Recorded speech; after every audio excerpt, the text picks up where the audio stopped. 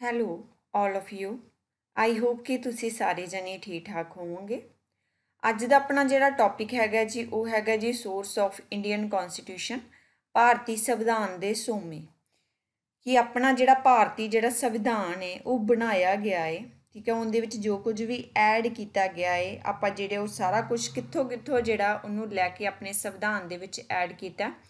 ਕਿਹੜਾ ਫੀਚਰ ਆਪਾਂ ਕਿਸ ਕੰਟਰੀ ਤੋਂ ਲਿਆਏ? ਸੋ ਸਭ ਦੇ ਬਾਰੇ ਦੇ ਵਿੱਚ ਆਪਾਂ ਜਿਹੜੀ ਗੱਲ ਹੈ ਜੀ ਇਸ ਵੀਡੀਓ ਦੇ ਵਿੱਚ ਕਰਾਂਗੇ। ਸੋ ਇਹ ਪੀਐਸ ਟੈਟ ਦਾ ਜੋ ਸਬਜੈਕਟ ਐਸਐਸਟੀ ਹੈ ਜੀ ਐਸਐਸਟੀ ਦੇ ਵਿੱਚ ਸਬ ਸਬਜੈਕਟ ਹੁੰਦੇ ਆ ਜੀ ਤੇ ਇਹ ਹੈਗਾ ਜੀ ਪੋਲੀਟੀ ਦੇ ਨਾਲ ਸੰਬੰਧਿਤ ਪੋਲੀਟੀਕਲ ਸਾਇੰਸ ਦੇ ਨਾਲ ਸੰਬੰਧਿਤ ਸਿਲੇਬਸ ਹੈ ਜੀ ਤੇ ਉਹਦੇ ਨਾਲ ਸੰਬੰਧਿਤ ਇਹ ਟੌਪਿਕ ਹੈ। ਵੈਸੇ ਆਪਾਂ ਇਹ ਨਹੀਂ ਕਹਿ ਸਕਦੇ ਕਿ ਸਿਰਫ ਪੀਐਸ ਟੈਟ ਦੇ ਨਾਲ ਸੰਬੰਧਿਤ ਹੈ, ਹੋਰ ਵੀ ਕਿਸੇ ਵੀ ਕਿਸੇ ਵੀ ਕਲਾਸ ਦੇ ਜਿਹੜਾ ਸਿਲੇਬਸ ਦੇ ਵਿੱਚ ਇਹ ਵਾਲਾ ਜੇਕਰ ਟੌਪਿਕ ਹੈਗਾ ਤਾਂ ਉਹਨਾਂ ਸਭ ਦੇ ਲਈ ਇਹ ਵੀਡੀਓ ਹੈਲਪਫੁਲ ਰਹੇਗੀ। ਬਟ ਜ਼ਿਆਦਾਤਰ ਜੋ ਆਪਾਂ ਬਣਾ ਰਹੇ ਹਾਂ ਨੋਟਸ ਜੋ ਤੁਹਾਨੂੰ ਕਵਰ ਕਰਵਾ ਰਹੇ ਹਾਂ ਤਾਂ ਇਹ ਪੀਐਸ ਟੈਟ ਦੇ ਸਟੂਡੈਂਟਸ ਦੇ ਲਈ ਹੈ ਬਟ ਨੌਲੇਜ ਤਾਂ ਨੌਲੇਜ ਹੀ ਹੈ ਨਾ। ਭਾਵੇਂ ਉਹ ਕਿਸੇ ਸਬਜੈਕਟ ਦਾ ਵੀ, ਕਿਸੇ ਵੀ ਕਲਾਸ ਦਾ ਉਹ ਜਿਹੜਾ ਟੌਪਿਕ ਹੈ ਜੀ, ਤਾਂ ਉਹ ਜਿਹੜੀ ਆ ਤੁਹਾਡੀ ਜਿਹੜੀ ਜ਼ਰੂਰ ਜਿਹੜੀ ਹੈਲਪ ਹੈ ਜੀ, ਇਹ ਨੋਟਸ ਜਿਹੜੀ ਕਰਨਗੇ। ਤਾਂ ਪਲੇਲਿਸਟ ਆਪਣੀਆਂ ਅਲੱਗ ਤੋਂ ਜਿਹੜੀਆਂ ਪੀਐਸ ਟੈਟ ਦੇ ਨਾਲ ਸੰਬੰਧਿਤ ਜਿਹੜੀਆਂ ਪਲੇਲਿਸਟ ਆ ਬਣੀਆਂ ਹੋਈਆਂ ਨੇ।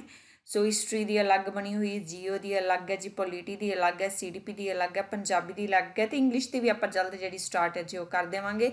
ਸੋ ਅੱਜ ਦਾ ਜਿਹੜਾ ਆਪਣਾ ਟੌਪਿਕ ਹੈਗਾ ਜੀ, ਉਹ ਹੈਗਾ ਸੋਰਸ ਆਫ ਇੰਡੀਅਨ ਕਨਸਟੀਟਿਊਸ਼ਨ ਭਾਰਤੀ ਸੰਵਿਧਾਨ ਦੇ ਸੋਮੇ। ਤੋਂ ਸਟਾਰਟ ਕਰਦੇ ਹਾਂ ਜੀ ਆਪਾਂ ਫਰਸਟ ਕਿੱਥੋਂ ਕਿੱਥੋਂ ਜਿਹੜੇ ਫੀਚਰ ਆਪਾਂ ਕਿਹੜੇ ਕਿਹੜੇ ਕੰਟਰੀ ਤੋਂ ਲਏ ਆ, ਠੀਕ ਹੈ ਜੀ, ਉਹ ਸਭ ਦੇ ਬਾਰੇ ਦੇ ਵਿੱਚ ਗੱਲ ਕਰਾਂਗੇ ਜੀ।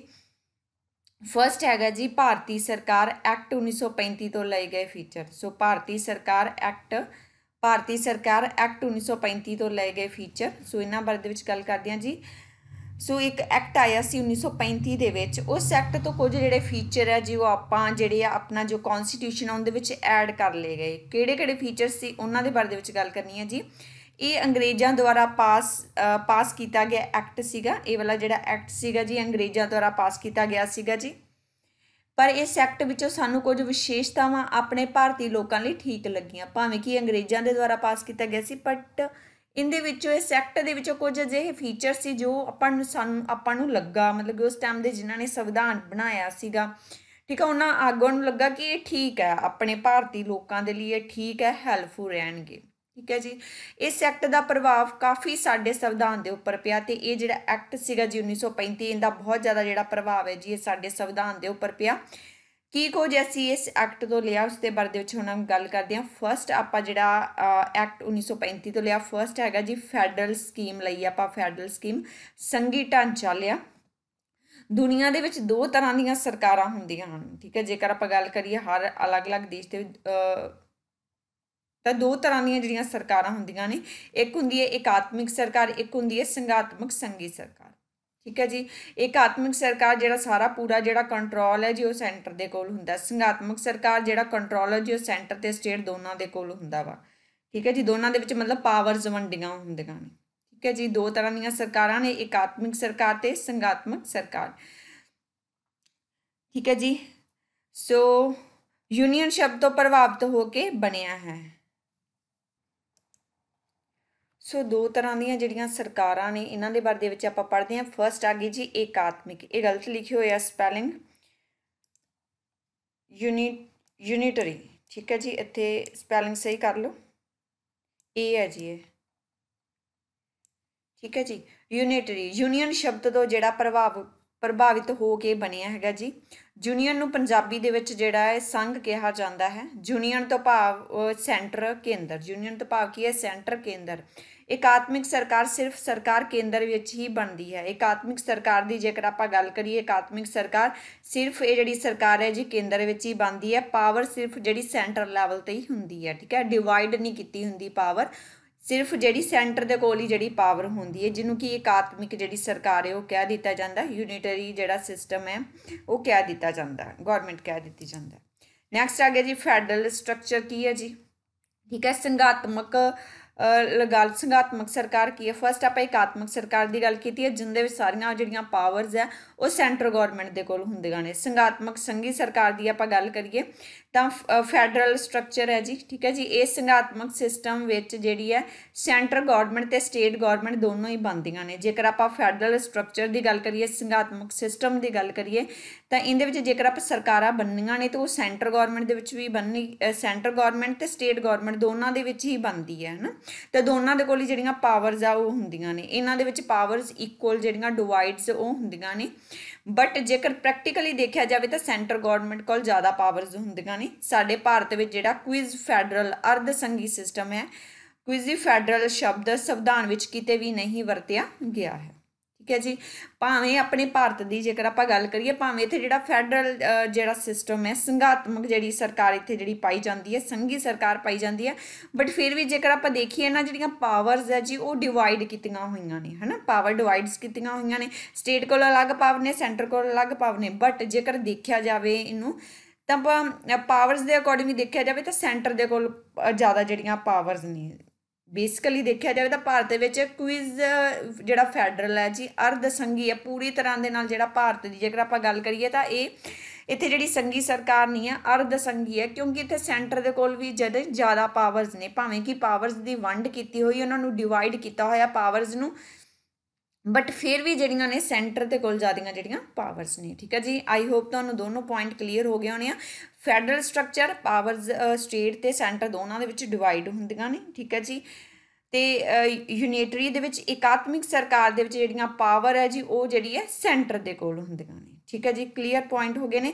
ਤਾਂ ਇਹ ਦੋਨੋਂ ਜੇ, ਇਹ ਜਿਹੜੇ ਫੀਚਰਸ ਆ, ਇਹ ਆਪਾਂ ਕਿੱਥੋਂ ਲਏ 1935 ਦਾ ਜਿਹੜਾ ਐਕਟ ਹੋਇਆ ਸੀਗਾ, ਅੰਗਰੇਜ਼ਾਂ ਦੇ ਦੁਆਰਾ ਜਿਹੜਾ ਪਾਸ ਕੀਤਾ ਗਿਆ ਇਹ ਐਕਟ ਸੀਗਾ ਜੀ।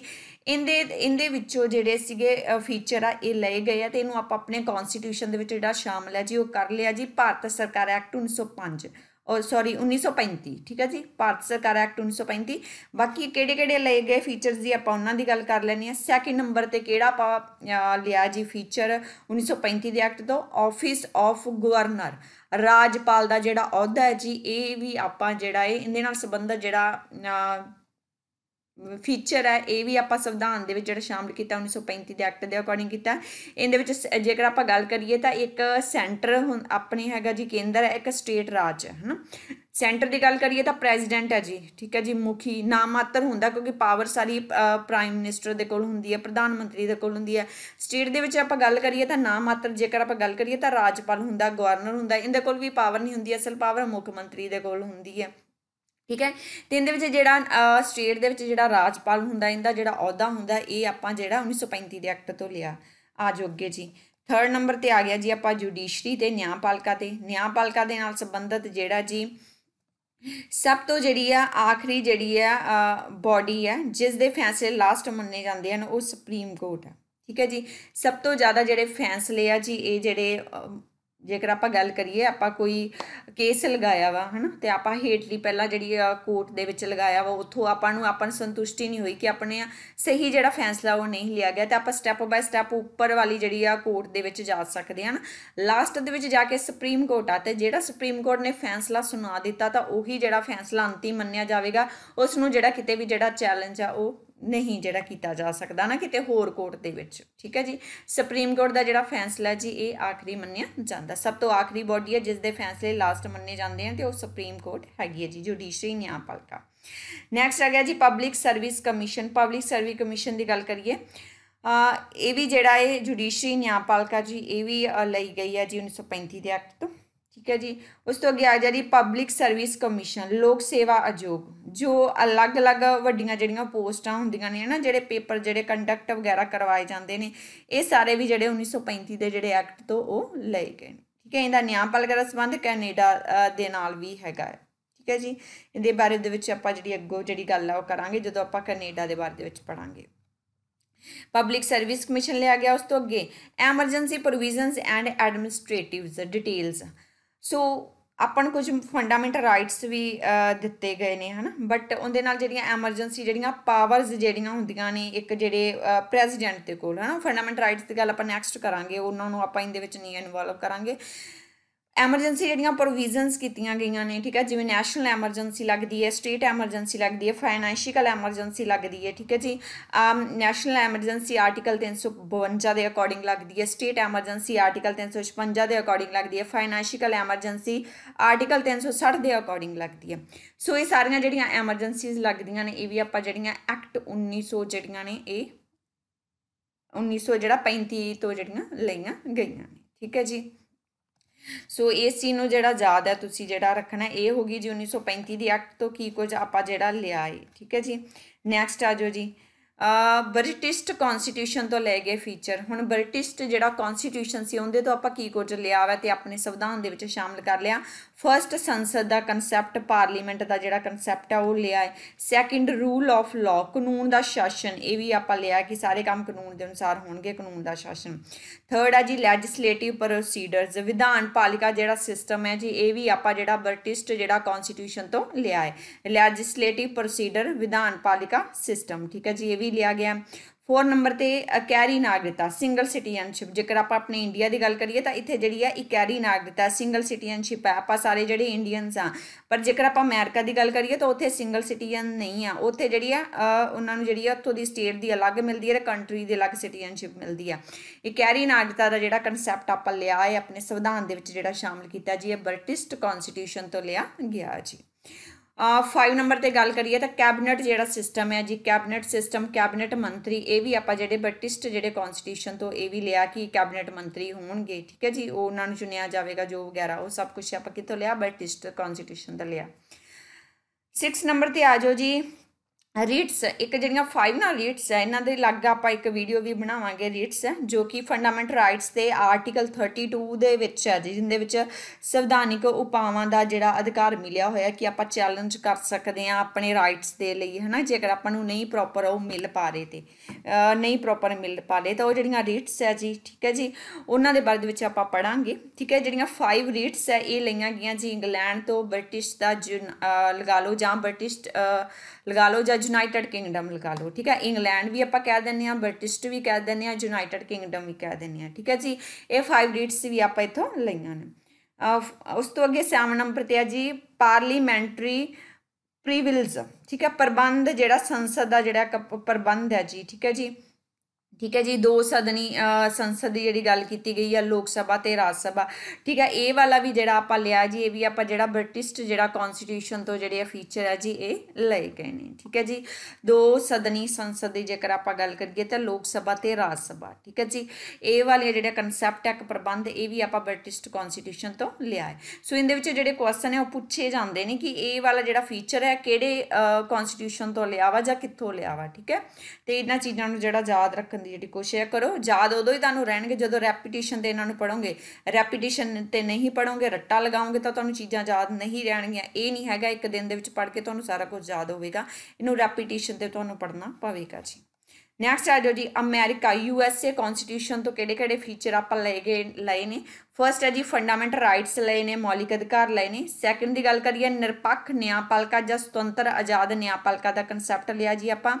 ਥਰਡ ਆਪਾਂ ਲਿਆ ਜੀ ਨਿਆਇਕ ਨਿਰੀਖਣ, ਲਿਆ ਜੀ ਜੁਡੀਸ਼ੀਅਲ ਰਿਵਿਊ ਦਾ, ਲਿਆ ਜੀ ਇਹ ਕਨਸੈਪਟ ਲਿਆ ਜੀ। ਫੋਰ ਨੰਬਰ ਤੇ ਗੱਲ ਕਰੀਏ ਇੰਪੀਚਮੈਂਟ ਆਫ ਦਾ ਪ੍ਰੈਜ਼ੀਡੈਂਟ ਪਰ ਲਿਆ ਰਾਸ਼ਟਰ ਮਤਲਬ ਕਿ ਰਾਸ਼ਟਰਪਤੀ ਉੱਪਰ ਮਹਾਦੋਸ਼ ਦਾ ਜਿਹੜਾ ਮੁਕਦਮਾ ਕਿਵੇਂ ਲੱਗ ਸਕਦਾ ਹੈ ਨਾ, ਉਹ ਵਾਲਾ ਕਨਸੈਪਟ ਸੁਪਰੀਮ ਕੋਰਟ ਤੇ ਹਾਈ ਕੋਰਟ ਦੇ ਜੱਜਾਂ ਨੂੰ ਹਟਾਉਣ ਦੀ ਵਿਧੀ ਕੀ ਉਹਨਾਂ ਨੂੰ ਕਿਵੇਂ ਹਟਾਇਆ ਜਾ ਸਕਦਾ? ਇਹ ਵਾਲੇ ਜਿਹੜੇ ਫੀਚਰ ਹੈ ਜੀ, ਇਹ ਅਮਰੀਕਾ ਕਨਸਟੀਟਿਊਸ਼ਨ ਤੋਂ ਲਏ ਗਏ ਨੇ। So America U S A constitution feature ਕਿਹੜੇ ਕਿਹੜੇ ਲਏ ਗਏ ਨੇ? ਅਮਰੀਕਾ ਯੂ ਐਸ ਏ ਤੋਂ ਫੰਡਾਮੈਂਟਲ ਰਾਈਟਸ ਲਏ ਗਏ ਨੇ, ਨਿਰਪੱਖ ਨਿਆਂਪਾਲਿਕਾ ਜਾਂ ਸੁਤੰਤਰ ਆਜ਼ਾਦ ਨਿਆਂਪਾਲਿਕਾ ਦਾ ਕਨਸੈਪਟ ਲਿਆ ਗਿਆ ਜੁਡੀਸ਼ੀਕਲ ਰਿਵਿਊ ਕੀ ਹੈ? ਕਿ ਜਿਹੜੇ ਵਿਧਾਨ ਪਾਲਿਕਾ ਕਾਨੂੰਨ ਬਣਾਉਂਦੀ ਹੈ, ਕਾਰਜਪਾਲਿਕਾ ਉਹਨਾਂ ਨੂੰ ਅਲੱਗ ਕਰਦੀ ਹੈ ਲੈਜਿਸਲੇਟਿਵ ਮਤਲਬ ਬਣਾਉਂਦੀ ਹੈ ਐਗਜ਼ੀਕਿਊਟਿਵ ਜਿਹੜੇ ਉਹਨਾਂ ਨੂੰ ਲਾਗੂ ਕਰਦੀ ਹੈ। ਤੇ ਠੀਕ ਹੈ ਜੁਡੀਸ਼ੀਅਲ ਰਿਵਿਊ ਕੀ ਹੈ? ਨਿਆਂ ਨਿਆਂ ਦੇ ਨਾਲ ਸੰਬੰਧਿਤ, ਕਿ ਉਹ ਦੇਖਦੀ ਹੈ ਜੋ ਜਸਟਿਸ ਹੈ, ਜੋ ਕੋਰਟਸ ਹੈ, ਠੀਕ ਹੈ ਜੀ ਨਿਆਂਪਾਲਿਕਾ ਜੋ ਉਹ ਦੇਖਦੀ ਹੈ ਕਿ ਇਹ ਜਿਹੜੇ ਕਾਨੂੰਨ ਬਣੇ ਨੇ, ਕਿ ਇਹ ਸੰਵਿਧਾਨ ਦੇ ਅਕੋਰਡਿੰਗ ਬਣੇ ਆ? ਜੇਕਰ ਉਹਨਾਂ ਨੂੰ ਲੱਗਦਾ ਕਿ ਸੰਵਿਧਾਨ ਦੇ ਅਕੋਰਡਿੰਗ ਨਹੀਂ ਬਣੇ, ਤਾਂ ਉਹਨਾਂ ਨੂੰ ਜਿਹੜਾ ਰੱਦ ਹੈ, ਉਹ ਕਰ ਦਿੱਤਾ ਜਾਂਦਾ, ਇਹ ਵਾਲਾ ਕਨਸੈਪਟ ਠੀਕ ਹੈ ਜੀ, ਇੱਕ ਰਾਸ਼ਟਰਪਤੀ ਉੱਪਰ ਮਹਾਦੋਸ਼ ਦਾ ਮੁਕੱਦਮਾ, ਇਹ ਵਾਲਾ ਕਨਸੈਪਟ ਇੱਕ ਸੁਪਰੀਮ ਕੋਰਟ ਤੇ ਹਾਈ ਕੋਰਟ ਦੇ ਜੱਜਾਂ ਨੂੰ ਹਟਾਉਣ ਦੀ ਵਿਧੀ ਦਾ ਕਨਸੈਪਟ ਠੀਕ ਹੈ ਜੀ, ਇਹ ਵਾਲੇ ਜਿਹੜੇ ਕਨਸੈਪਟ ਹੈ ਜੀ ਅਮਰੀਕਾ ਯੂ ਐਸ ਏ ਦੇ ਜਿਹੜੇ ਕਨਸਟੀਟਿਊਸ਼ਨ ਤੋਂ ਲਏ ਗਏ ਨੇ ਜੀ। ਠੀਕ ਹੈ ਜੀ ਨੈਕਸਟ ਆ ਜਾਓ ਜੀ। ਆਇਰਲੈਂਡ ਆਇਰਲੈਂਡ ਤੋਂ ਕੀ ਲਿਆ ਗਿਆ? ਆਇਰਲੈਂਡ ਦੇ ਕਨਸਟੀਟਿਊਸ਼ਨ ਤੋਂ ਕਿਹੜੇ-ਕਿਹੜੇ ਫੀਚਰ ਲਏ ਗਏ ਨੇ ਆਪਾਂ? ਠੀਕ ਹੈ ਜੀ ਫਰਸਟ ਹੈ ਜੀ, ਰਾਜਨੀਤੀ ਦੇ ਨਿਰਦੇਸ਼ਕ ਸਿਧਾਂਤ ਡਾਇਰੈਕਟ ਪ੍ਰਿੰਸੀਪਲਸ ਲਏ ਗਏ ਨੇ, ਠੀਕ ਹੈ, ਰਾਜਨੀਤੀ ਦੇ ਨਿਰਦੇਸ਼ਕ ਸਿਧਾਂਤ। ਜਿਹਨੂੰ ਡੀਪੀਐਸਸੀ ਵੀ ਸ਼ਾਰਟ ਦੇ ਵਿੱਚ ਕਹਿ ਦਿੰਦੇ ਆ, ਠੀਕ ਹੈ? ਰਾਜਨੀਤੀ ਦੇ ਨਿਰਦੇਸ਼ਕ ਸਿਧਾਂਤ। ਸੈਕੰਡ ਹੈ ਜੀ, ਰਾਜ ਸਭਾ ਦੇ ਮੈਂਬਰਾਂ ਦੀ ਨਾਮਜ਼ਦਗੀ। ਸੋ ਨਾ, ਰਾਜ ਸਭਾ ਦੇ ਜਿਹੜੇ ਮੈਂਬਰ ਹੁੰਦੇ ਨੇ, ਲੋਕ ਸਭਾ ਦੇ ਮੈਂਬਰ ਤਾਂ ਆਪਾਂ ਇਲੈਕਟ ਕਰ ਦਿੱਤੇ ਹਨ ਵੋਟਾਂ ਪੈਂਦੀਆਂ ਨੇ, ਉਹ ਚੁਣੇ ਜਾਂਦੇ ਨੇ, ਹਨ? ਐਮਪੀ ਚੁਣੇ ਜਾਂਦੇ ਨੇ, ਠੀਕ ਹੈ? ਬਟ ਰਾਜ ਸਭਾ ਦੇ ਜਿਹੜੇ ਮੈਂਬਰਾਂ ਦੀ ਜਿਹੜੀ ਨਾਮਜ਼ਦਗੀ ਜਿਹੜੀ ਕੀਤੀ ਜਾਂਦੀ ਹੈ ਨਾ 12 ਮੈਂਬਰ ਚੁਣੇ ਜਾਂਦੇ ਨੇ ਰਾਜ ਸਭਾ ਦੇ ਵਿੱਚ, ਠੀਕ ਹੈ? ਉਹ ਅਲੱਗ ਨੇ, ਹਨ? ਰਾਸ਼ਟਰਪਤੀ ਦੀ ਚੋਣ ਦਾ ਮੈਥਡ ਤੇ ਰਾਸ਼ਟਰਪਤੀ ਦੀ ਚੋਣ ਵਿਧੀ ਇਹ ਵੀ ਜਿਹੜਾ ਕਨਸੈਪਟ ਹੈ ਜੀ, ਉਹ ਜਿਹੜਾ ਆਇਰਲੈਂਡ ਦੇ ਜਿਹੜੇ ਕਨਸਟੀਟਿਊਸ਼ਨ ਤੋਂ ਲਿਆ ਗਿਆ ਹੈ। ਰਾਜਨੀਤੀ ਦੇ ਨਿਰਦੇਸ਼ਕ ਸਿਧਾਂਤ ਲਏ ਗਏ ਨੇ, ਠੀਕ ਹੈ ਜੀ। ਆਇਰਲੈਂਡ ਤੋਂ ਰਾਜ ਸਭਾ ਦੇ ਮੈਂਬਰਾਂ ਦੀ ਨਾਮਜ਼ਦਗੀ ਲਈ ਗਈ ਹੈ ਜੀ। ਰਾਸ਼ਟਰਪਤੀ ਲਈ ਚੁਣਾਅ ਦਾ ਮੈਥਡ, ਰਾਸ਼ਟਰਪਤੀ ਦੀ ਜਿਹੜੀ ਚੋਣ ਕਿਵੇਂ ਹੋਵੇਗੀ, ਠੀਕ ਹੈ। ਉਹ ਵਾਲਾ ਜਿਹੜਾ ਕਨਸੈਪਟ ਵੀ ਲਿਆ ਗਿਆ ਜੀ, ਆਇਰਲੈਂਡ ਤੋਂ ਰਾਜਨੀਤੀ ਨਿਰਦੇਸ਼ਕ ਸਿਧਾਂਤ ਵੀ ਲਏ ਗਏ ਜੀ, ਆਇਰਲੈਂਡ ਤੋਂ ਤੇ ਰਾਜ ਸਭਾ ਦੇ ਮੈਂਬਰਾਂ ਦੀ ਨਾਮਜ਼ਦਗੀ ਜਿਹੜੀ 12 ਹੁੰਦੀ ਹੈ ਜੀ, ਉਹ ਵਾਲਾ ਕਨਸੈਪਟ ਲਿਆ ਗਿਆ। ਰਾਜ ਸਭਾ ਦਾ ਮੈਂਬਰਾਂ ਨੂੰ ਜਿਹੜਾ ਨੋਮੀਨੇਟ ਆ, ਜਿਹੜਾ ਨਾਮਜ਼ਦ ਕੀਤਾ ਜਾਂਦਾ 12 ਜਿਹੜੇ ਮੈਂਬਰਾਂ ਨੂੰ, ਰਾਜ ਸਭਾ ਦੇ ਮੈਂਬਰਾਂ ਨੂੰ ਰਾਸ਼ਟਰਪਤੀ ਦੁਆਰਾ ਕੀਤਾ ਜਾਂਦਾ। ਉਹ ਕਿਹੜੇ ਪਰਸਨ ਹੁੰਦੇ ਨੇ ਜੋ ਕਿਸੇ ਕਲਾ ਦੇ ਵਿੱਚ ਪ੍ਰਸਿੱਧ ਹੁੰਦੇ ਨੇ, ਸਾਹਿਤ ਦੇ ਨਾਲ ਸੰਬੰਧਿਤ ਹੁੰਦੇ ਨੇ, ਵਿਗਿਆਨ ਦੇ ਨਾਲ ਜਾਂ ਸਮਾਜ ਸੇਵਾ ਦੇ ਨਾਲ ਸੰਬੰਧਿਤ ਮੈਂਬਰ ਹੁੰਦੇ ਨੇ? ਅਜਿਹੇ ਜਿਹੜੇ ਇੱਕ ਮਤਲਬ ਕੁਝ ਕੰਮ ਕਰਨ ਵਾਲੇ, ਕੁਝ ਮੋਹਤਵਾਰ ਜੋ ਲੋਕ ਨੇ, ਜੋ ਕੁਝ ਕਰ ਰਹੇ ਨੇ, ਭਾਵੇਂ ਉਹ ਕਲਾ ਦੇ ਖੇਤਰ ਦੇ ਵਿੱਚ, ਭਾਵੇਂ ਉਹ ਸਾਹਿਤ ਦੇ ਖੇਤਰ ਵਿੱਚ, ਵਿਗਿਆਨ ਦੇ ਖੇਤਰ ਵਿੱਚ ਜਾਂ ਸਮਾਜ ਸੇਵਾ ਦੇ ਖੇਤਰ ਦੇ ਵਿੱਚ, ਉਹਨਾਂ ਨੂੰ ਰਾਸ਼ਟਰਪਤੀ ਦੇ ਦੁਆਰਾ ਜਿਹੜਾ ਨੋਮੀਨੇਟ ਹੈ ਜੀ, ਉਹ ਜਿਹੜਾ ਕੀਤਾ ਜਾਂਦਾ ਸੋ ਰਾਜ ਸਭਾ ਦੇ ਮੈਂਬਰਾਂ ਨੂੰ ਨੋਮੀਨੇਟ ਜਿਹੜਾ, ਉਹ ਪ੍ਰੈਜ਼ੀਡੈਂਟ ਕਰਦਾ ਹੈ, ਜੋ ਕਲਾ, ਸਾਹਿਤ, ਵਿਗਿਆਨ ਅਤੇ ਸਮਾਜ ਸੇਵਾ ਦੇ ਨਾਲ ਸੰਬੰਧਿਤ ਮੈਂਬਰ ਹੁੰਦੇ ਨੇ। ਠੀਕ ਹੈ ਜੀ? ਜੇਕਰ ਆਪਾਂ ਗੱਲ ਕਰੀਏ ਜਿਵੇਂ ਸਾਨੀਆ ਮਿਰਜ਼ਾ ਹੋ ਗਈ, ਨਾਗਰ ਨਾਗ, ਨਾਗਰਸ ਤਸ ਰੇਖਾ ਹੋਗੀ ਜਿਵੇਂ ਠੀਕ ਹੈ, ਚਲੋ, ਰੇਖਾ ਹੋਗੀ ਸਾਨੀਆ ਮਿਰਜ਼ਾ ਹੋਗੀ ਇਸ ਤਰ੍ਹਾਂ ਦੇ ਮਤਲਬ ਕੁਝ ਜਿਹੜੇ ਲਗਾ ਲਓ, ਜਿਨ੍ਹਾਂ ਨੇ ਕੁਝ ਜਿਹੜਾ ਕੀਤਾ ਵਾ, ਹਨਾ? ਉਹਨਾਂ ਨੂੰ ਰਾਸ਼ਟਰਪਤੀ ਜਿਹੜਾ ਨਾਮਜ਼ਦ ਹੈ, ਉਹ ਕਰ ਸਕਦਾ ਜੀ 12 ਮੈਂਬਰ। ਠੀਕ ਹੈ ਨੈਕਸਟ ਜੋ ਇਹ ਵਾਲਾ ਕਨਸੈਪਟ ਵੀ ਆਇਰਲੈਂਡ ਤੋਂ ਲਿਆ ਗਿਆ ਹੈ ਜੀ।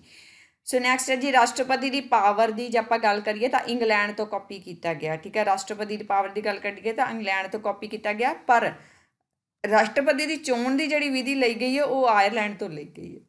ਦੋ ਚੀਜ਼ਾਂ ਨੇ, ਇੱਕ ਤਾਂ ਰਾਸ਼ਟਰਪਤੀ ਦੇ ਇਲੈਕਸ਼ਨ ਹੋਣੇ ਆ, ਇੱਕ ਹੈਗੀ ਆ ਰਾਸ਼ਟਰਪਤੀ ਦੀ ਪਾਵਰ। ਜੇਕਰ ਪਾਵਰ ਦੀ ਰਾਸ਼ਟਰਪਤੀ ਦੀ ਪਾਵਰ ਦੀ ਗੱਲ ਕਰੀਏ, ਤਾਂ ਉਹ ਇੰਗਲੈਂਡ ਤੋਂ ਲਈ ਗਈ ਆ। ਕਿ ਉਹਦੇ ਕੋਲ ਕਿਹੜੀਆਂ ਪਾਵਰਸ ਹੋਣਗੀਆਂ, ਉਹਦੇ ਕੋਲ ਕਿਹੜੀਆਂ ਸ਼ਕਤੀਆਂ ਹੋਣਗੀਆਂ, ਠੀਕ ਹੈ? ਉਹ ਇੰਗਲੈਂਡ ਤੋਂ ਕਾਪੀ ਕੀਤੀਆਂ ਗਈਆਂ ਨੇ। ਬਟ ਜੇਕਰ ਰਾਸ਼ਟਰਪਤੀ ਦੀ ਚੋਣ ਵਿਧੀ ਦੀ ਗੱਲ ਕਰੀਏ, ਤਾਂ ਉਹ ਆਇਰਲੈਂਡ ਤੋਂ ਲਈ ਗਈ ਹੈ। ਪਰ ਰਾਸ਼ਟਰਪਤੀ ਦੀ ਚੋਣ ਦੀ ਜਿਹੜੀ ਵਿਧੀ ਹੈ ਜੀ, ਉਹ ਆਇਰਲੈਂਡ ਤੋਂ ਲਈ ਗਈ ਹੈ। ਠੀਕ ਹੈ ਜੀ ਨੈਕਸਟ ਆ ਜਾਓ ਜੀ ਹੁਣ। ਆਇਰਲੈਂਡ ਤੋਂ ਅੱਗੇ ਆ ਜਾਓ, ਕੈਨੇਡਾ। ਕੈਨੇਡਾ ਸੰਵਿਧਾਨ ਤੋਂ ਕੀ ਲਿਆ ਗਿਆ? ਕੈਨੇਡਾ ਤੋਂ ਕੀ ਕੁਝ ਲਿਆ ਗਿਆ ਵਾ? ਠੀਕ ਹੈ, ਆਪਾਂ ਗੱਲ ਕਰੀਏ। ਫਰਸਟ ਹੈ ਜੀ, ਕੇਂਦਰ ਸਰਕਾਰ, ਕੇਂਦਰ ਜ਼ਿਆਦਾ ਸ਼ਕਤੀਸ਼ਾਲੀ ਹੋਵੇਗਾ। ਠੀਕ ਹੈ ਜੀ ਕੀ ਲਿਆ ਗਿਆ ਕਨਸੈਪਟ ਕੈਨੇਡਾ ਦੇ ਸੰਵਿਧਾਨ ਤੋਂ ਕਿ ਸੈਂਟਰ ਗਵਰਨਮੈਂਟ ਦੇ ਕੋਲ ਜ਼ਿਆਦਾ ਜਿਹੜੀਆਂ ਪਾਵਰਸ ਹੋਣਗੀਆਂ, ਜਿਵੇਂ ਕਿ ਆਪਾਂ ਪਿੱਛੇ ਗੱਲ ਕੀਤੀ ਹੈ ਕਿ ਆਪਣੇ ਇੰਡੀਆ ਦੇ ਵਿੱਚ ਫੈਡਰਲ ਸਿਸਟਮ ਹੈ ਸੈਂਟਰ ਦੇ ਕੋਲ ਸੈਂਟਰ ਤੇ ਸਟੇਟ ਦੇ ਵਿੱਚ ਵੰਡ ਹੋਈ ਹੋਈ ਹੈ ਪਾਵਰਸ ਦੀ, ਠੀਕ ਹੈ? ਬਟ ਪਾਵਰਸ ਜੇਕਰ ਆਪਾਂ ਪ੍ਰੈਕਟੀਕਲ ਰੂਪ ਦੇ ਵਿੱਚ ਦੇਖੀਏ ਤਾਂ ਪਾਵਰ ਕਿੰਦੇ ਕੋਲ ਜ਼ਿਆਦਾ ਨਹੀਂ ਸੈਂਟਰ ਗਵਰਨਮੈਂਟ ਦੇ ਕੋਲ ਜ਼ਿਆਦਾ ਨਹੀਂ ਤੇ ਇਹ ਵਾਲਾ ਜਿਹੜਾ ਕਨਸੈਪਟ ਹੈ ਕਿ ਕੇਂਦਰ ਕੋਲ ਜ਼ਿਆਦਾ ਜਿਹੜਾ ਸ਼ਕਤੀਸ਼ਾਲੀ ਹੋਵੇਗਾ ਸੈਂਟਰ ਕੋਲ ਜ਼ਿਆਦਾ ਪਾਵਰ ਹੋਣਗੇ, ਇਹ ਕਿੱਥੋਂ ਲਿਆ ਗਿਆ ਜੀ? ਕੈਨੇਡਾ ਦੇ ਸੰਵਿਧਾਨ ਤੋਂ ਲਿਆ ਗਿਆ। ਸੋ ਕੇਂਦਰ ਜ਼ਿਆਦਾ ਸ਼ਕਤੀਸ਼ਾਲੀ ਹੋਵੇਗਾ, ਇੱਕ ਤਾਂ ਇਹ ਕਨਸੈਪਟ ਲਿਆ ਗਿਆ ਸੈਕਿੰਡ ਜੀ ਵਾਧੂ ਸ਼ਕਤੀਆਂ ਜਿਹੜੀਆਂ ਉਹ ਕੇਂਦਰ ਦੇ ਕੋਲ ਹੋਣਗੀਆਂ, ਠੀਕ ਹੈ? ਇੱਕ ਜਿਹੜੀਆਂ ਪਾਵਰਸ ਦੀ ਜਿਹੜੀ ਵੰਡ ਜਿਹੜੀ ਉਹ ਕੀਤੀ ਗਈ ਹੈ, ਠੀਕ ਹੈ? ਜਿਵੇਂ ਰਾਜ ਸੂਚੀ ਸੰਗੀ ਸੂਚੀ ਤੇ ਸਮਰਵਤੀ ਸੂਚੀ ਹੈ। ਜੋ ਵਾਧੂ ਸ਼ਕਤੀਆਂ ਹੋਣਗੀਆਂ ਜੀ ਉਹ ਸੈਂਟਰ ਗਵਰਨਮੈਂਟ ਦੇ ਕੋਲ ਹੋਣਗੇ ਇਹਨਾਂ ਦੇ ਬਾਰੇ ਦੇ ਵਿੱਚ ਡਿਟੇਲ ਦੇ ਵਿੱਚ ਆਪਾਂ ਜਿਹੜਾ ਅੱਗੇ ਆ ਉਹ ਪੜਾਂਗੇ ਸੋ ਵਾਧੂ ਜਿਹੜੀਆਂ ਸ਼ਕਤੀਆਂ ਜੀ ਉਹ ਸੈਂਟਰ ਦੇ ਕੋਲ ਹੋਣਗੀਆਂ। ਇਹ ਵਾਲਾ ਕਨਸੈਪਟ ਲਿਆ ਗਿਆ ਜੀ। ਥਰਡ ਹੈ ਜੀ ਰਾਜਾਂ ਦੇ ਰਾਜਪਾਲ ਦੀ ਨਿਯੁਕਤੀ ਕੇਂਦਰ ਦੇ ਦੁਆਰਾ। ਰਾਜਾਂ ਦੇ ਰਾਜਪਾਲ ਦੀ ਨਿਯੁਕਤੀ ਜਿਹੜੀ ਉਹ ਕੇਂਦਰ ਦੇ ਦੁਆਰਾ ਜਿਹੜੀ ਉਹ ਕੀਤੀ ਜਾਵੇਗੀ। ਸੋ ਰਾਜਾਂ ਦੇ ਰਾਜਪਾਲ ਦੀ ਨਿਯੁਕਤੀ ਜਿਹੜੀ ਉਹ ਕੇਂਦਰ ਦੇ ਦੁਆਰਾ ਕੀਤੀ ਜਾਵੇਗੀ ਜੀ।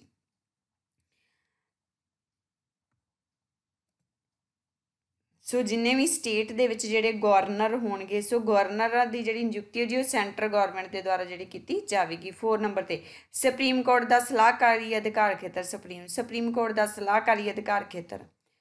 ਠੀਕ ਹੈ ਸੁਪਰੀਮ ਕੋਰਟ ਦਾ ਸਲਾਹਕਾਰੀ ਅਧਿਕਾਰ ਖੇਤਰ। ਤਾਂ ਇਹ ਵਾਲੀਆਂ ਜਿਹੜੇ ਕਨਸੈਪਟ ਨੇ ਜੀ, ਇਹ ਚਾਰ, ਇਹ ਕੈਨੇਡਾ ਦੇ ਸੰਵਿਧਾਨ ਤੋਂ ਲਏ ਗਏ ਨੇ, ਇਹ ਜਿਹੜੇ ਆ ਕੈਨੇਡੀਅਨ ਜਿਹੜੇ ਕਨਸਟੀਟਿਊਸ਼ਨ ਤੋਂ ਲਏ ਗਏ ਨੇ। ਨੈਕਸਟ ਆ ਜਾਓ ਜੀ 6 ਨੰਬਰ ਤੇ ਜੇਕਰ ਆਪਾਂ ਗੱਲ ਕਰੀਏ ਤਾਂ ਆਸਟ੍ਰੇਲੀਅਨ ਕਨਸਟੀਟਿਊਸ਼ਨ ਦੀਆਂ ਵਿਸ਼ੇਸ਼ਤਾਵਾਂ ਕਿਹੜੀਆਂ-ਕਿਹੜੀਆਂ ਲਈਆਂ ਗਈਆਂ ਨੇ? ਆਸਟ੍ਰੇਲੀਅਨ ਕਨਸਟੀਟਿਊਸ਼ਨ ਤੋਂ ਕਿਹੜੀਆਂ-ਕਿਹੜੀਆਂ ਵਿਸ਼ੇਸ਼ਤਾਵਾਂ ਲਈਆਂ ਗਈਆਂ ਨੇ? ਫਰਸਟ ਆ ਗਿਆ ਜੀ ਕਨਕਰੈਂਟ ਲਿਸਟ ਜਿਹੜੀ ਹੈ, ਸਮਰਵਤੀ ਜਿਹੜੀ ਸੂਚੀ ਹੈ ਜੀ, ਸਮਕਾਲੀ ਸੂਚੀ ਹੈ ਜੀ, ਇਹ 7th ਅਨੁਸੂਚੀ ਦੇ ਨਾਲ ਸੰਬੰਧਿਤ ਹੈ। ਠੀਕ ਹੈ ਜੀ। ਆਸਟ੍ਰੇਲੀਅਨ ਕਨਸਟੀਟਿਊਸ਼ਨ ਦੀ ਗੱਲ ਕਰੀਏ ਆਸਟ੍ਰੇਲੀਅਨ ਕਨਸਟੀਟਿਊਸ਼ਨ ਤੋਂ ਕਿਹੜੀਆਂ-ਕਿਹੜੀਆਂ ਜਿਹੜੇ ਫੀਚਰਸ ਆ ਉਹ ਲਏ ਗਏ ਨੇ। ਫਰਸਟ ਹੈ ਜੀ ਕਨਕਰੈਂਟ ਲਿਸਟ ਜਿਹੜੀ ਆ ਉਹ ਲਈ ਗਈ ਹੈ ਕਨਕਰੈਂਟ ਲਿਸਟ ਸਮਰਵਤੀ ਸੂਚੀ, ਸਮਕਾਲੀ ਸੂਚੀ ਲਈ ਗਈ ਹੈ। ਠੀਕ ਹੈ ਜੀ, ਇਹ 7th ਅਨੁਸੂਚੀ ਦੇ ਨਾਲ ਜਿਹੜੀ ਹੈ ਸੰਬੰਧਿਤ ਹੈ। ਇਹ 7th ਜਿਹੜੀ ਅਨੁਸੂਚੀ ਦੇ ਨਾਲ ਇਸ 7ਵੀਂ ਅਨੁਸੂਚੀ ਦੇ ਨਾਲ ਜਿਹੜੀ ਇਹ ਚੀਜ਼ ਜਿਹੜੀ ਸੰਬੰਧਿਤ ਹੈ ਜੀ ਕਨਕਰੈਂਟ ਲਿਸਟ ਸਮਰਵਤੀ ਸੂਚੀ, ਸਮਕਾਲੀ ਸੂਚੀ, ਇਹ 7th ਅਨੁਸੂਚੀ ਦੇ ਨਾਲ ਸੰਬੰਧਿਤ ਹੈ। ਸੈਕੰਡ ਦੀ ਗੱਲ ਕਰੀਏ ਤਾਂ ਵਪਾਰ ਕਰਨ ਦੀ ਜਿਹੜੀ ਆਜ਼ਾਦੀ ਹੈ, ਵਪਾਰ ਕਰਨ ਦੀ ਆਜ਼ਾਦੀ ਜਿਹੜਾ ਫੀਚਰ ਲਿਆ ਗਿਆ ਜੀ, ਇਹ ਵੀ ਆਸਟ੍ਰੇਲੀਅਨ ਕਨਸਟੀਟਿਊਸ਼ਨ ਤੋਂ ਲਿਆ ਗਿਆ ਵਾ। ਥਰਡ ਦੀ ਗੱਲ ਕਰੀਏ, ਸੰਯੁਕਤ ਬੈਠਕਾਂ ਦਾ ਕਨਸੈਪਟ ਸੰਯੁਕਤ ਬੈਠਕਾਂ ਦਾ ਜਿਹੜਾ ਕਨਸੈਪਟ ਹੈ ਜੀ, ਇਹ ਵੀ ਜਿਹੜਾ ਆਸਟ੍ਰੇਲੀਅਨ ਕਨਸਟੀਟਿਊਸ਼ਨ ਤੇ ਲਿਆ ਗਿਆ। ਸੰਯੁਕਤ ਬੈਠਕਾਂ ਨੂੰ ਰਾਸ਼ਟਰ, ਸੰਯੁਕਤ ਸੰਯੁਕਤ ਬੈਠਕਾਂ ਨੂੰ ਰਾਸ਼ਟਰਪਤੀ ਬੁਲਾਉਂਦਾ ਹੈ ਪਾਵਰ ਪ੍ਰੈਜ਼ੀਡੈਂਟ ਕੋਲ ਹੈ, ਠੀਕ ਹੈ ਆਰਟੀਕਲ 1 108 ਅਨੁਸਾਰ। ਸੰਯੁਕਤ ਸੰਯੁਕਤ ਬੈਠਕਾਂ ਨੂੰ ਸੰਯੁਕਤ ਸੰਯੁਕਤ ਬੈਠਕਾਂ ਨੂੰ ਰਾਸ਼ਟਰਪਤੀ ਬੁਲਾਉਂਦਾ ਸੰਯੁਕਤ ਬੈਠਕਾਂ ਨੂੰ ਕੌਣ ਬੁਲਾਉਂਦਾ? ਜੀ, ਰਾਸ਼ਟਰਪਤੀ ਬੁਲਾਉਂਦਾ ਪਾਵਰ ਪ੍ਰੈਜ਼ੀਡੈਂਟ ਕੋਲ ਹੈ। ਆਰਟੀਕਲ 108 ਦੇ ਅਨੁਸਾਰ। ਜਦੋਂ ਇਕੱਠੀ ਜਦੋਂ ਬੈਠਕ ਕਰਨੀ ਹੋਵੇ ਤਾਂ ਉਦੋਂ ਜਿਹੜੀ ਹੈ ਰਾਸ਼ਟਰਪਤੀ ਦੁਆਰਾ ਜਿਹੜੀ ਸੰਯੁਕਤ ਬੈਠਕ ਬੁਲਾਈ ਜਾਂਦੀ ਹੈ ਆਰਟੀਕਲ 108 ਦੇ ਅਕੋਰਡਿੰਗ ਸੋ ਇਹ ਆਸਟ੍ਰੇਲੀਅਨ ਜਿਹੜਾ ਕਨਸਟੀਟਿਊਸ਼ਨ ਤੋਂ ਜਿਹੜੇ ਫੀਚਰ ਆ ਉਹ ਲੈ ਗਏ ਨੇ। ਕਨਕਰੈਂਟ ਲਿਸਟ ਤੇ ਵਪਾਰ ਕਰਨ ਦੀ ਆਜ਼ਾਦੀ ਸੰਯੁਕਤ ਬੈਠਕਾਂ ਦਾ ਕਨਸੈਪਟ ਠੀਕ ਹੈ ਜੀ? ਸੋ ਇਹ ਤਿੰਨੋਂ ਜਿਹੜੇ ਆਸਟ੍ਰੇਲੀਅਨ ਕਨਸਟੀਟਿਊਸ਼ਨ ਤੇ ਲਿਆ ਗਿਆ ਜਾਂਦਾ ਨੈਕਸਟ ਆ ਗਿਆ ਜਰਮਨੀ ਦੀ ਗੱਲ ਕਰੀਏ ਤਾਂ ਜਰਮਨੀ ਜਰਮਨੀ ਵੈਮੀਮਰ ਕਨਸਟੀਟਿਊਸ਼ਨ ਜਿਹੜਾ ਫੀਚਰ ਹੈ ਜੀ, ਇਹ ਲਿਆ ਗਿਆ ਜੀ ਜਰਮਨੀ ਤੋਂ ਕਿਹੜੇ-ਕਿਹੜੇ ਲਏ ਗਏ ਨੇ? ਜਰਮਨੀ ਦਾ ਜਿਹੜਾ ਕਨਸਟੀਟਿਊਸ਼ਨ ਹੈ ਉਹ ਵੈਮ ਵਿਮਮਾਰ ਹੈ, ਠੀਕ ਹੈ ਜੀ? ਇਹਦੇ ਤੋਂ ਜਿਹੜਾ ਲਿਆ ਗਿਆ ਜੀ।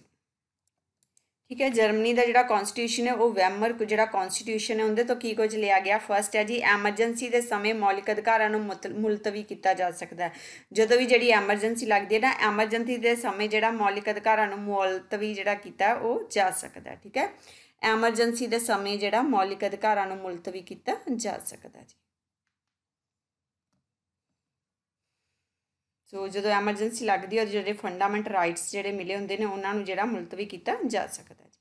ਨੈਕਸਟ 8 ਨੰਬਰ ਤੇ ਆਪਾਂ ਗੱਲ ਕਰੀਏ ਤਾਂ U S S R U S S R ਹੁਣ ਜਿਹੜਾ ਉਹਨੂੰ ਰਸ਼ੀਆ ਕਹਿ ਦਿੱਤਾ ਜਾਂਦਾ ਸੋਵੀਅਤ ਸੰਘ। ਇਥੋਂ ਕਿਹੜੇ-ਕਿਹੜੇ ਫੀਚਰ ਲਏ ਗਏ ਨੇ? ਯੂ ਐਸ ਐਸ ਆਰ ਹੁਣ ਰਸ਼ੀਆ ਸੋਵੀਅਤ ਸੰਘ, ਇਥੋਂ ਕਿਹੜੇ-ਕਿਹੜੇ ਫੀਚਰਸ ਲਏ ਗਏ ਨੇ? ਫਰਸਟ ਹੈ ਜੀ, ਮੌਲਿਕ ਕਰਤਵ ਲਏ ਗਏ ਨੇ ਫੰਡਾਮੈਂਟਲ ਡਿਊਟੀਆਂ A51A ਮੌਲਿਕ ਕਰਤਵ ਲਏ ਗਏ ਨੇ। ਯੂ ਐਸ ਐਸ ਆਰ, ਹੁਣ ਰਸ਼ੀਆ ਸੋਵੀਅਤ ਸੰਘ ਫੀਚਰਸ ਬੋਰਡੋਡ ਕੀਤੇ ਗਏ ਨੇ। ਫਸਟ ਹੈ ਜੀ, ਮੌਲਿਕ ਕਰਤੱਵ ਫੰਡਾਮੈਂਟਲ ਡਿਊਟੀਆਂ ਲਈਆਂ ਗਈਆਂ ਨੇ A51A A51A ਮੌਲਿਕ ਕਰਤੱਵ ਲਏ ਗਏ ਨੇ। ਠੀਕ ਹੈ ਜੀ। ਠੀਕ ਹੈ ਜੀ, ਉਸ ਤੋਂ ਇਲਾਵਾ ਜਿਹੜੇ ਹੈ ਜੀ, ਇਹ ਮੌਲਿਕ ਕਰਤੱਵ ਕਿੱਥੇ ਨੇ? ਪਾਰਟ 4th ਏ ਦੇ ਵਿੱਚ ਨੇ 42nd ਜਿਹੜੀ ਆ 1976 ਜਿਹੜੀ ਅਮੈਂਡਮੈਂਟ ਹੋਈ ਹੈ ਜੀ, ਠੀਕ ਹੈ ਜੀ, ਉੱਥੋਂ ਜਿਹੜੇ ਲਏ ਗਏ ਨੇ। ਮੌਲਿਕ ਕਰਤਵਾਂ ਨੂੰ ਸਰਦਾਰ ਸਵਰਨ ਸਿੰਘ ਕਮੇਟੀ ਦੀ ਸਿਫਾਰਿਸ਼ ਤੇ ਜੋੜਿਆ ਗਿਆ ਸੀਗਾ। ਮੌਲਿਕ ਕਰਤਵਾਂ ਮੌਲਿਕ ਕਰਤਵਾਂ ਨੂੰ ਜਿਹੜਾ ਸੀ, ਸਰਦਾਰ ਸਵਰਨ ਸਿੰਘ ਕਮੇਟੀ ਦੀ ਸਿਫਾਰਿਸ਼ ਤੇ ਜੋੜਿਆ ਗਿਆ ਸੀ। ਟੋਟਲ 11 ਜਿਹੜੀਆਂ ਫੰਡਾਮੈਂਟਲ ਡਿਊਟੀਆਂ ਨੇ।